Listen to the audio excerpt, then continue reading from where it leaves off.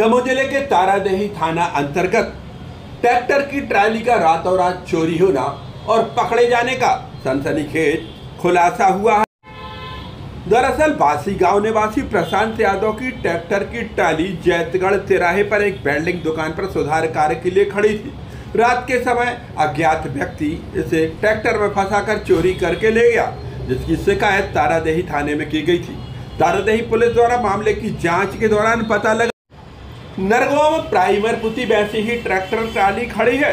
Police ने जाँच पड़ताल की तो पता लगा है चोरी की ट्रैक्टर ट्राली है, जिसे जब्त कर लिया गया।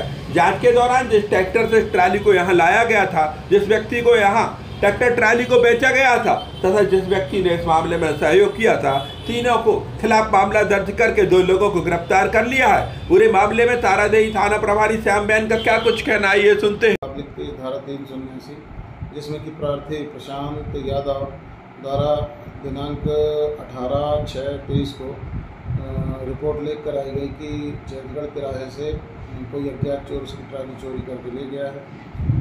रिपोर्ट पर से प्रकरण पंजीबद्ध किया गया। श्रीमान पुलिस अधीक्षक महोदय के निर्देशन में घटना की रिपोर्ट होने के 24 घंटे के भीतर ही आरोपी राहुल और तखत सिंह से ट्राली और घटना में इस्तेमाल किया गया ट्रैक्टर, कीमती करीब चार लाख रुपए का जब्त किया गया। व आरोपी को माननीय न्यायालय प्रस्तुत किया जा रहा है। वरिष्ठ अधिकारियों के निर्देशन में तत्परता के साथ चोरी का खुलासा हमारे द्वारा किया गया